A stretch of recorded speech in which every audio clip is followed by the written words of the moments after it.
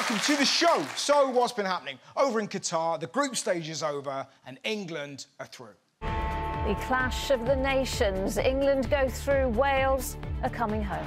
England beat Wales by three goals to nil in the final game of their group, including a stunning free kick by Marcus Rashford. A devastated Wales, outclassed and out of the tournament they'd waited so long to be part of. So, how did the Welsh take it? Well, the kids were philosophical. I am disappointed, but Wales did good, but I guess they're just better. That's life. Adults, not so much. Reaction to the loss? Uh, shit. It's absolute bag of wank, mate. My favourite reaction was this bloke after Wales lost to Iran. I think for Iran, it's probably their biggest victory they've had since the Iron Sheik beat uh, Bob Backlund at WrestleMania. it's amazing. Me, I'm nearly as gutted as the time the Ultimate Warrior lost the Royal Rumble. and it could have been different. I mean, it's been so many shocks. What about Saudi Arabia? A huge upset on the pitch as Saudi Arabia beat Argentina. It was incredible. One fan was so happy, he went on the rampage.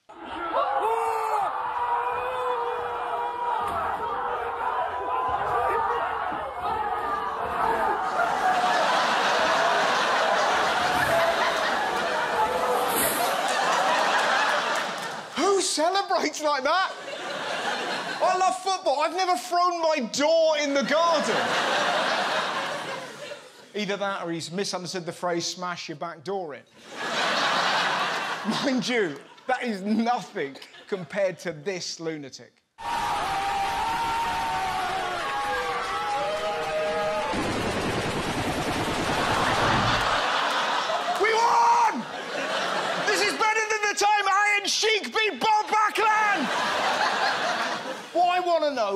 Brings a gun round their mates to watch the game?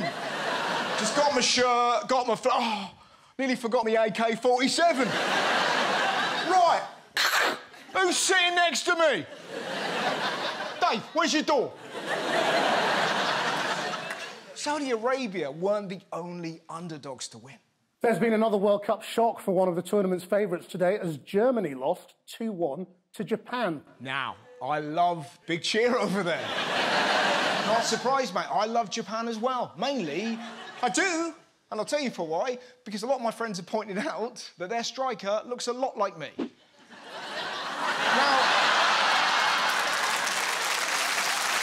but also. I also love them because of what their team did to the dressing room after they beat the Germans. But it wasn't just on the pitch that the Japanese were impressive. This is how the team left their dressing room after the game at the Khalifa International Stadium. All the rubbish tidied away. How great is that? We beat Germany! Let's make this place spotless. Do you reckon they did chants? ba ba ba ba, pass the bin bag. Ba ba ba ba, let's recycle. Wouldn't that be lovely? We polished, we scoured. Our striker looks like Howard. We're Japan. We're Japan. They weren't just tidying. Look what they left behind. Some rather gorgeous origami swans and a message that said thank you in both Japanese and Arabic. It's amazing. Our team can barely speak English. we probably left a note like this. Mind you, my favourite reaction to victory was definitely this.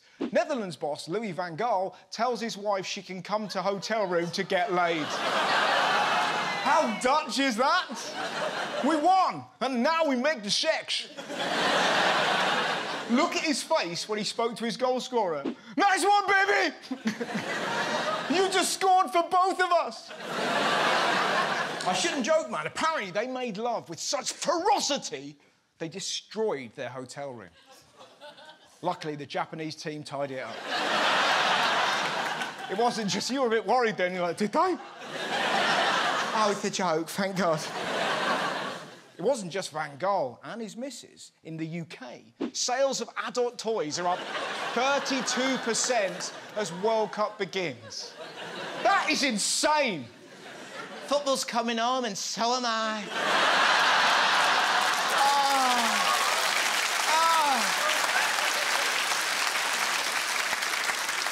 But to be honest, the World Cup is the perfect alibi for a fiddle. Your neighbours won't have a clue. They'll be listening in, you'll be like that, yes! Yes! Stick it in the box! Oh, oh, oh, that is Messi!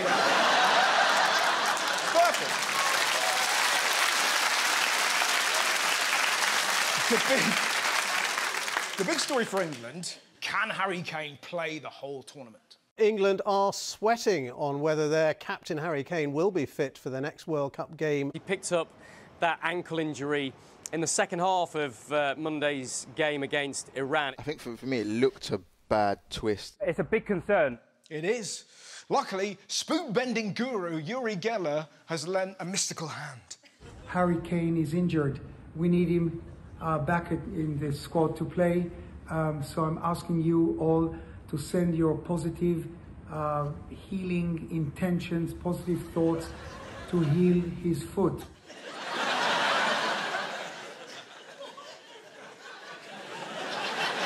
That is absolute bollocks. You can't heal injuries with your mind. You don't see doctors like. oh, I've shit myself. Besides, if we can heal with our brains, forget Kane. We need to help this man. Oh, this right.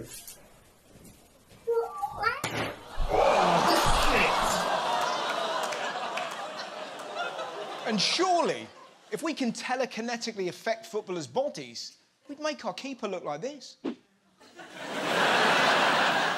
it wasn't just Geller. Phil and Holly interviewed a man who says his psychic alpaca can predict World Cup scores. When did you realise at first that he could do this, that he was psychic? He always gives you this knowing look that, that tells you, I know a little bit more than you do. Does he? Does he know what's going on with Bitcoin? Does he know what's going to happen in Ukraine? No, because he's a fucking alpaca. His powers are as useful as this bloke's nuts. Aren't wise. They look like Boris Johnson banged a goat. right? A psychic alpaca. I've never seen a spiritualist do that. Is there anybody there?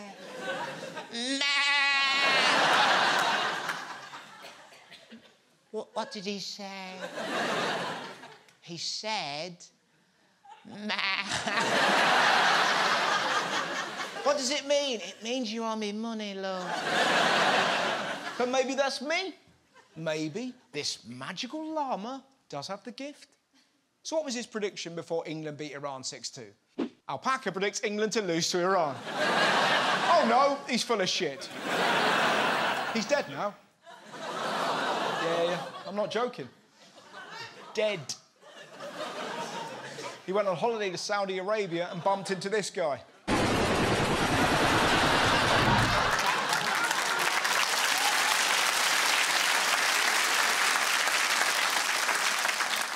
In political news, how about this for a massive piss take? Out of the jungle, but no regrets as Matt Hancock finishes third on I'm a Celebrity. I just wanted to show what I'm just like as a person. Is it a greedy, incompetent prick? How?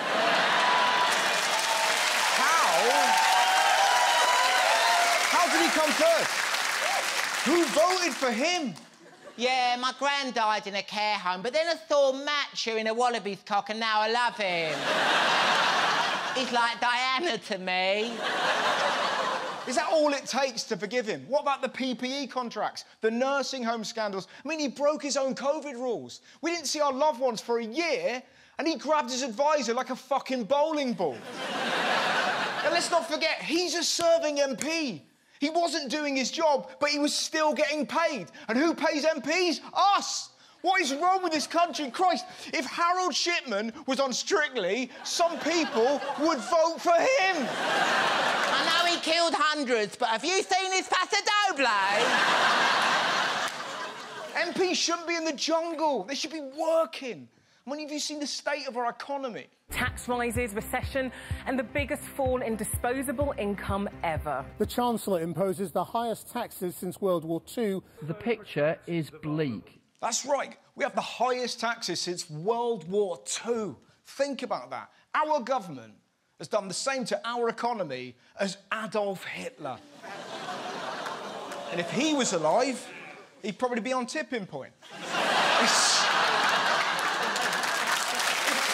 It's- mad. We have a black hole of 55 billion, and all Jeremy Hunt blamed was this. These are global factors, uh, partly because of uh, what's happening in Ukraine, partly because of the pandemic. But no mention of the fact that Liz Truss's disastrous mini budget cost the country a staggering 30 billion. Why don't they mention her? That's like me going to A&E with my knob stuck in a Christmas turkey and just going, Jamie, bloody Oliver.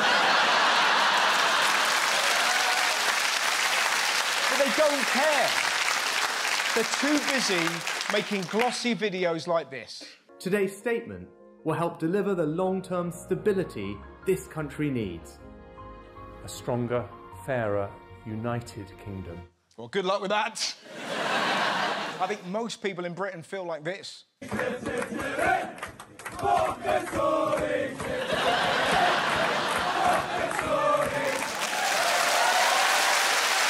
It's time for Playground Politics. In a week that saw the climax of I'm a Celebrity, I thought I'd ask the kids how they would survive in the wilderness.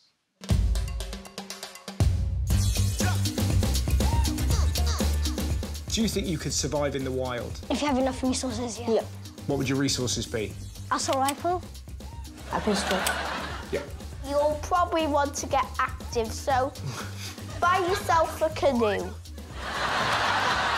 17 bags of macaroni and cheese, because that's my favourite. Yeah. And then I will bring a caravan.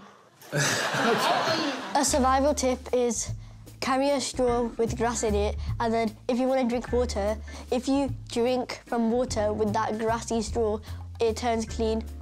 Is that right? I don't believe that.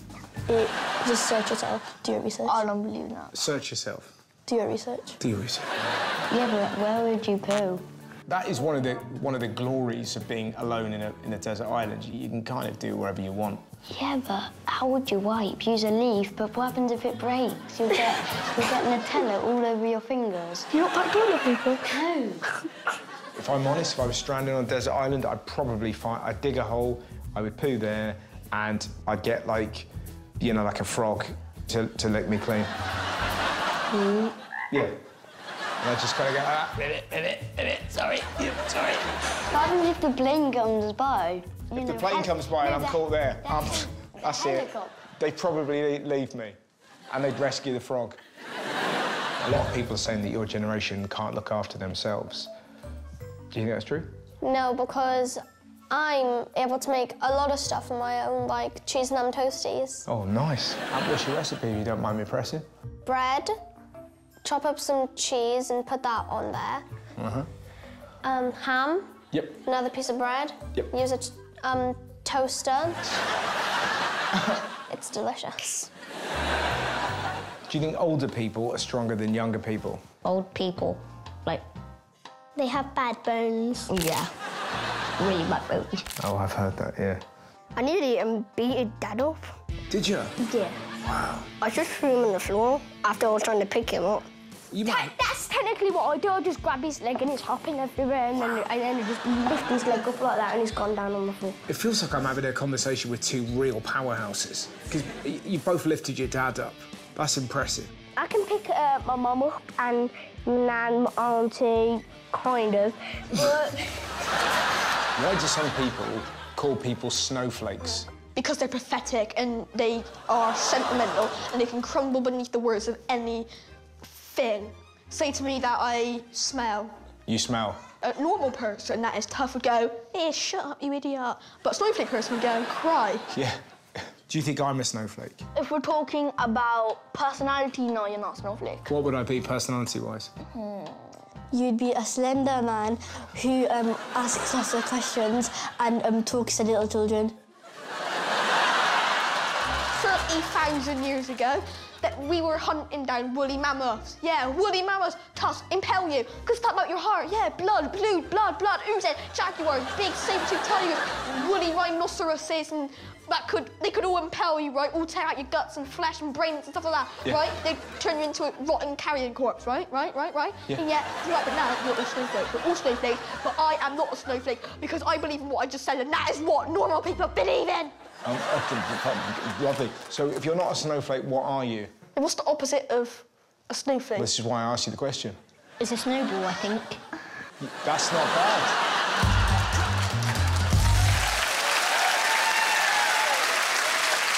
Magnificent. Next up. Now, here's a question. Why are the media obsessed with stirring up division over anything? Should we ban parents from cheering on their children? Is it right to remove church pews to help the obese? Is it really time to stop saying mums and dads? There is no place for headbands on babies. SpongeBob is talking a lot about global warming, and he's only looking at it from one point of view. Is it selfish to use paddling pools? They're trying to bring race into Ernie and Bert. We're blighted by trans fish. The global tyranny of the metric system? Who knew that algebra was racist? Can the Black Panther be played by a white guy? How do I get pregnant? You go fuck yourself?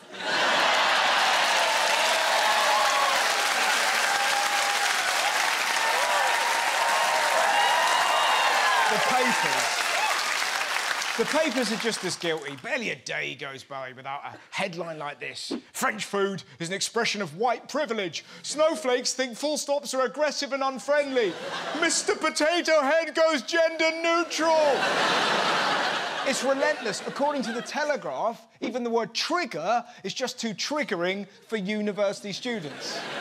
Apparently, they just show this guy. And it's not just the media whipping us into a frenzy. Politicians, you may have noticed, are fixating on this word. It's the Guardian reading. To- tofu eating. Wokerati. This is about being woke. Lefty woke culture. The capital of woke. The woke agenda. Woke Twitter mob. The woke left. Woke stuff. The woke for the woke. Being woke. Woke! Forget about our mistakes. The woke brigade want to cut Postman Pat's cock off. It's such nonsense. They're trying to create a culture war when most people don't give a shit. Look how few people on the internet are doing this. 12% of voters accounted for 50% of all social media users. It isn't a war, it's a kerfuffle. There's five arseholes on the right and five arseholes on the left, and we're in the middle dealing with their shit like a festival toilet. Most people don't care about the privilege of beef bourguignon, and yet the papers print this nonsense. Christ, at least in the old days, at least the bullshit was fun. Like this superb Daily Sport headline. I use Marks and Spencer's vine tomatoes as anal beads. Now I'm shitting captions. But now, the news is just clickbait. I mean, take this story from The Sun. Race row over Gavin and Stacey as some viewers demand it's removed. The race row was actually based on one tweet from an anonymous account that said, Chinese Alan, get that shit banned, get it nuked out of orbit.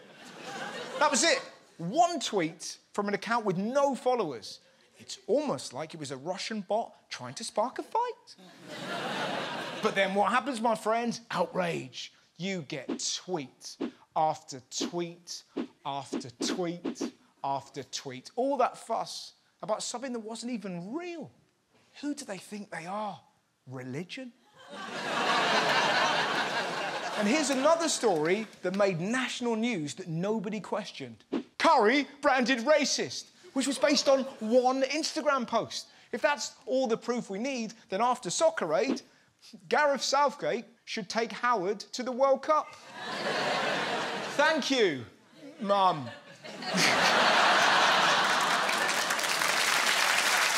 You've noticed it. I've noticed it. It's such a toxic cycle. Here is how it works.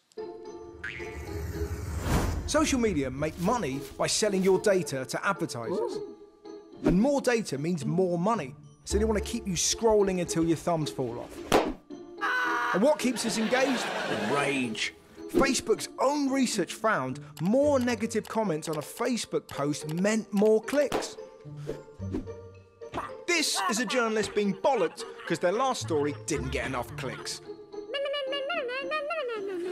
The boss patiently explains that without clicks, the paper will go out of business. So the journalist becomes less interested in the truth and instead becomes a rage farmer, turning social media posts into news stories for clicks.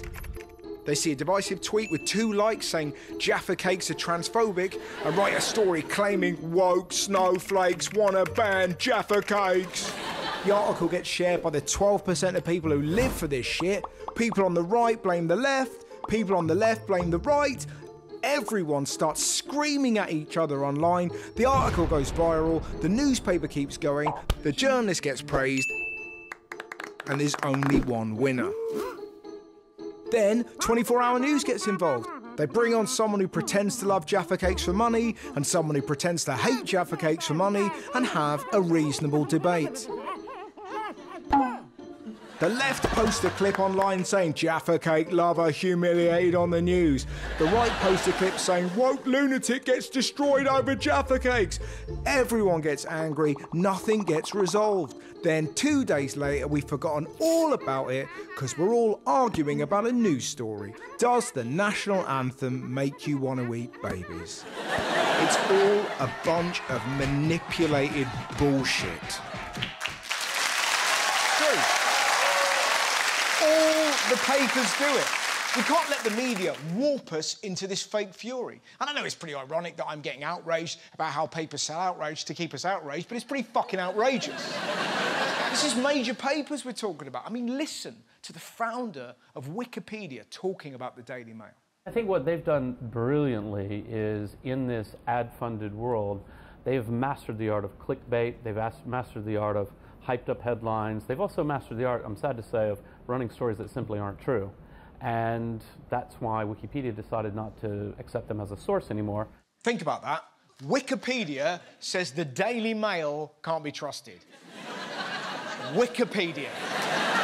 The same Wikipedia who published that David Beckham was a Chinese goalkeeper in the 18th century. Robbie Williams eats domestic pets in pubs for money. And Benedict Cumberbatch is an actor who is half human, half otter. He is, of course, a meerkat. What I'm trying to say, don't get sucked into all this. Most people don't care about aggressive full stops or Mr. Potato Head's clit or what. or what. What Curry, Gavin, and Stacey. They'll happily call anyone by the pronoun they want because they don't want their pronoun to be prick. There is no culture war. It's 10 fucking people and a dying media trying to make money by keeping us divided. That is all it is. Welcome to the final part of the show, and it's stand up time. Please welcome the fantastic London Hughes!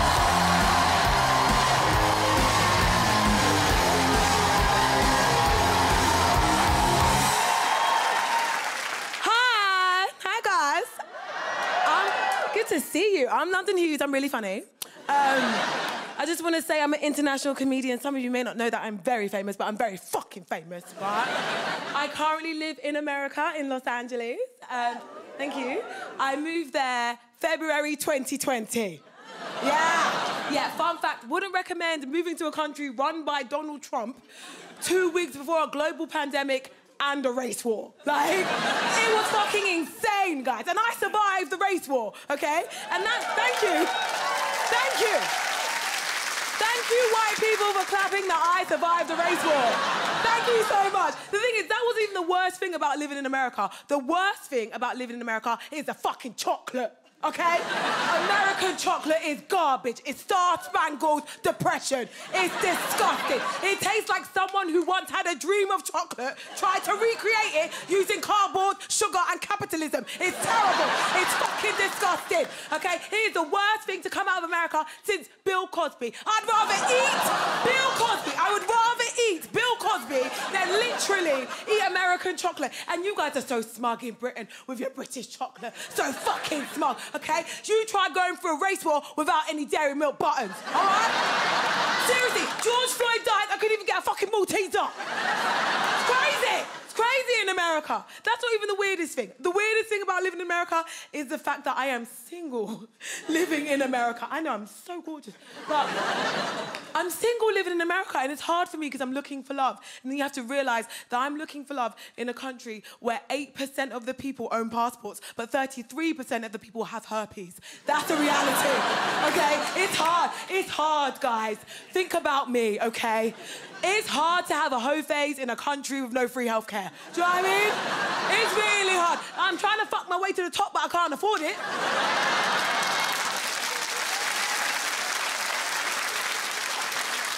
America's crazy. It's weird. It's weird. It's, it's a dangerous sport having unprotected sex in America. Seriously, it's dangerous. I live life on the edge, okay? Fuck Bear Grylls, bareback Grylls is what they call me. Okay? That's the life I'm living. It's hard. It's hard. It's also very weird because I'm a black woman in America, but I'm from Britain. And most Americans have no idea that black British people exist. Seriously. They have no idea. Whenever I speak, they're like, what part of Hogwarts did you appear from? Like they, they have no. They're so confused. The white Americans don't know whether they should be racist to me or not. They're like, well, gosh darn it, you look black, but you sound white. Like, it's fucking crazy. They don't even call me black British. They call me British African American. or my favorite, female Idris Elba. Like, it's crazy. America's weird. I love it, but honestly, moving there has changed my whole life. Seriously, um, I'm living there, living my best life. I've sold movies. I'm starring in TV shows. I'm working with my Hollywood heroes. True. I am. Thank you for clapping that. It's true, I am, mainly because everyone thinks I'm related to Idris Elba. But there's a lot of talk since I've been away. I've been gone for a few years now, and there's talk in the UK about females in comedy. A lot of people are saying that British comedy is sexist and there's no love for the women. But I can now announce I am officially the first British woman to have a Netflix comedy special. Seriously. Thank you. Thank you. Thank you. And all I had to do to do that was do stand-up comedy here for 12 fucking years, watch every single one of my white male mates become famous comedians, and then move to a country where the police are legally allowed to shoot me. Thank you, Britain. I've been London Hughes. You've been amazing. Everyone have a good night.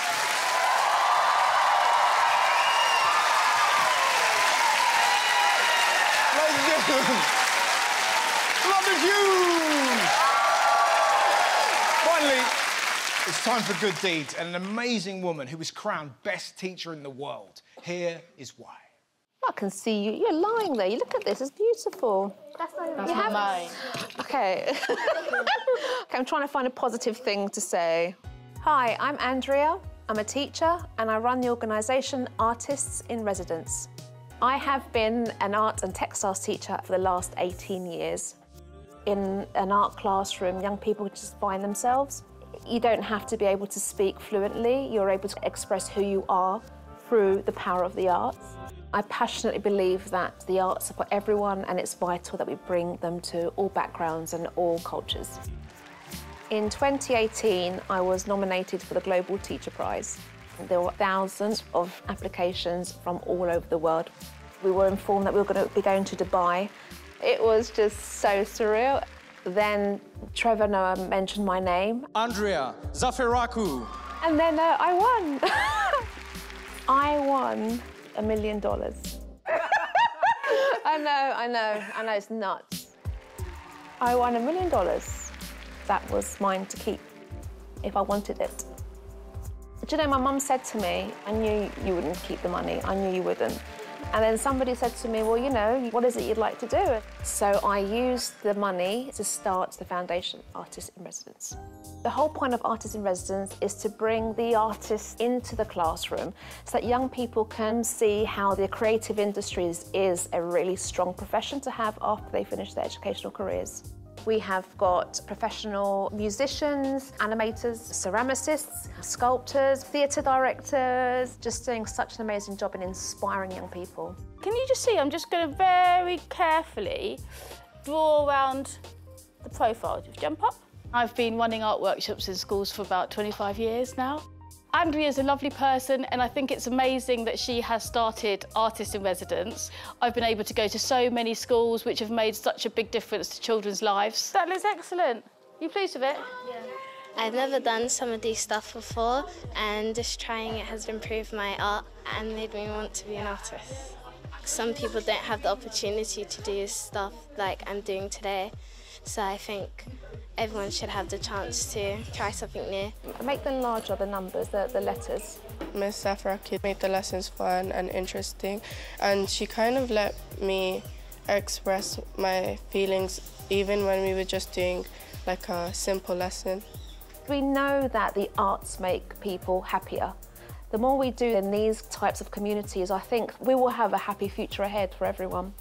If you are a school in a highly deprived area, please do contact us because the sessions will be free. If people would like to support the charity, they can donate on the website. We'd be very grateful to receive their support. Lovely stuff. Thanks very much for watching the show. Good night, my friends. Good night.